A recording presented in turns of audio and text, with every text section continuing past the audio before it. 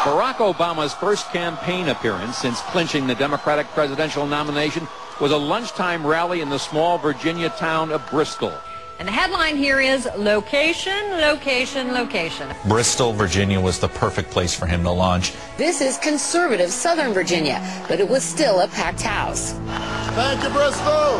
Obama's team hopes to redraw the electoral map and will fight to win in purple and red states like Virginia. Virginia has been a solid red, not blue state, but now it's being called purple. It just becomes a purple environment. So he's thinking, well, maybe I can turn Virginia and its 13 electoral votes to me. Barack Obama believes it is a battleground state. Virginia will be a target of both presidential candidates. Can Obama win Virginia? Obama can win Virginia. He needs Virginia. Going into Virginia makes sense. I think Virginia presents a real great opportunity anyway, just strategically.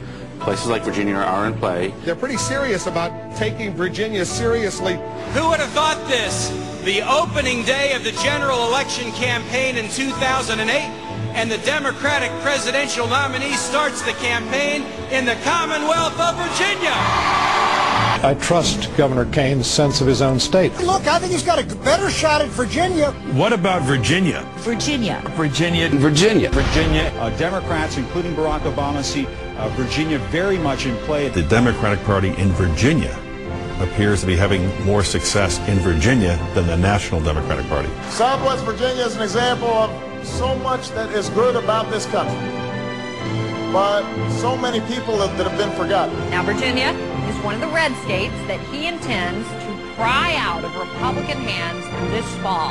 Virginia being top of those. So maybe I can take that one away from the Republicans and put it in the Democratic Party. We've been making some change in Virginia, folks. The next president of the United States. The next president of the United States, our friend Senator Barack Obama.